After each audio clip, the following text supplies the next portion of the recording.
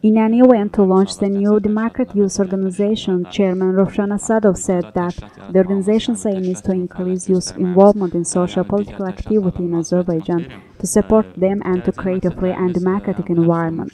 The head of the organization said that new projects are being prepared to enhance youth political activism in all regions of the country and to develop new campaign strategies for the release of youth activists.